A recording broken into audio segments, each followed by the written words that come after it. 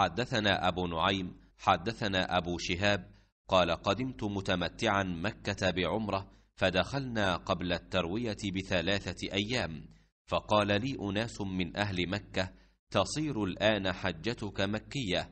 فدخلت على عطاء أستفتيه فقال حدثني جابر بن عبد الله رضي الله عنهما أنه حج مع النبي صلى الله عليه وسلم يوم ساق البدن معه وقد أهلوا بالحج مفردا.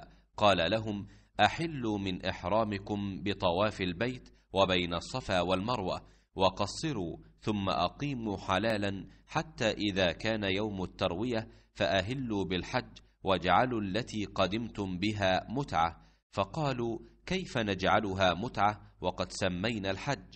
فقال افعلوا ما أمرتكم. فلولا أني سقت الهدي لفعلت مثل الذي أمرتكم ولكن لا يحل مني حرام حتى يبلغ الهدي محلة.